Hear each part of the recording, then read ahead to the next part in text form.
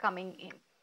Well, after a landslide victory in Punjab, Arvind Kejriwal's Aam Aadmi Party is trying to make inroads in Assam now. The Delhi Chief Minister Arvind Kejriwal and Punjab Chief Minister Bhagwant Mann are in Guwahati today, launching a scathing attack on Assam Chief Minister Himanta Biswa Sarma. Kejriwal stated that the Assam Chief Minister has a lot to learn from the Assamese people and that he did, need, need not threaten him to put him behind the bars. Not just that, he replied to his alleged threat with an invite for a cup of tea. Now, hailing the Delhi Punjab model, Kejriwal said that the Aam Aadmi Party is doing a good work in Punjab and if given a chance, they will do the same in Assam as well. Listen in. ऐसा लग रहा है कि आज ही आप हेमंत बाबू की सरकार उखाड़ के फेंक देंगे एक साल आपने इन लोगों को वोट दिया कांग्रेस को वोट दिया असम जन परिषद को वोट दिया भारतीय जनता पार्टी को वोट दिया इन पार्टियों ने आपको क्या दिया? धोखा दिया। 2015 में दिल्ली में मेरी सरकार बनी थी। एक साल के बाद 2016 में हेमंत बाबू की सरकार बनी थी। आज दिल्ली को हमने बदल के रख दिया सात साल के अंदर।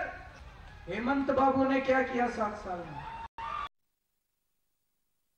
Colic Pulkit is joining us live on the broadcast to give us more details on this Pulkit Arvind Kejriwal और पंजाब चीफ मिनिस्टर भगवंत मान दोनों ही गुवाहाटी में है आज और वो असम में उन्होंने हिमंता बिस्वा शर्मा, जो चीफ मिनिस्टर असम के, उन पर अटैक किया है और ये बोला है कि उनको असमीज लोगों से काफ़ी कुछ सीखना है और ये भी बोला है कि जो असम के लोग हैं वो हिमंता बिस्वा शर्मा को उखाड़ के फेंक दे और आम आदमी पार्टी को एक मौका दे असम में। इस पर और क्या जानकारी दे सकते हैं आप? देखिए, आम आदमी पार्टी असम में विधानसभा चुनाव लड़ने की तैयारी कर रही है और इसी के साथ जो दिल्ली के, पंजाब के, गुजरात के वो तमाम मुद्दे, चाहे वो गोवा में जो जो वादे आम आदमी पार्टी ने अभी तक स्टेट्स में किए हैं, वैसे ही वादे भी अरविंद केजरीवाल ने वहाँ की जनता से किए हैं।